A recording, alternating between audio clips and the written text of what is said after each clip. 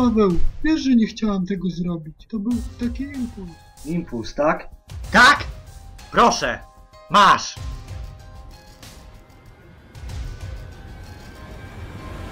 Dość! Przepraszam. Nie. Teraz kurwa pokuta. Za dużo wypiłam, mówię ci. Coś mi dosypali. Wierzysz? Majka. Ale dobrze, okej. Ja wszystko rozumiem, on ci czegoś dosypał. Wzięłaś to.